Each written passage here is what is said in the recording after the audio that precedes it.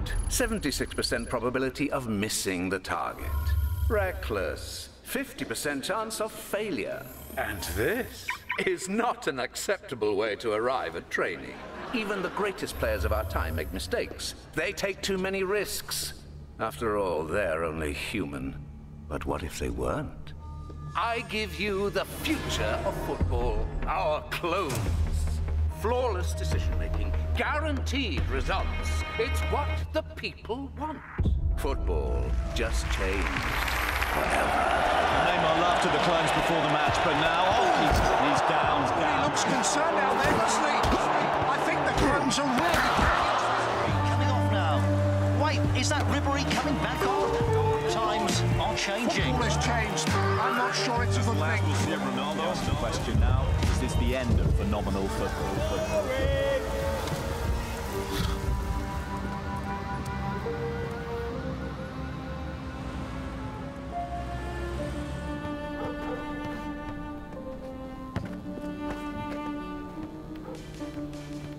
Now, coming to basketball.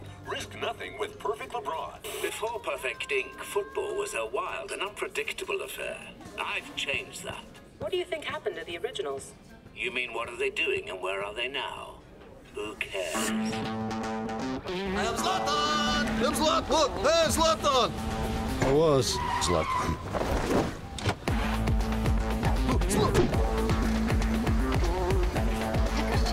Whoa! Does the manager know about this?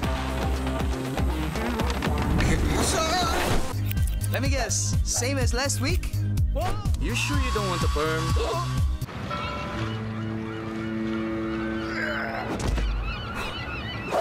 Kidding me? Get off me! Who's there? Get off, Zlatan. Hey, what happened? Why are we all here? To make a stand. To save football.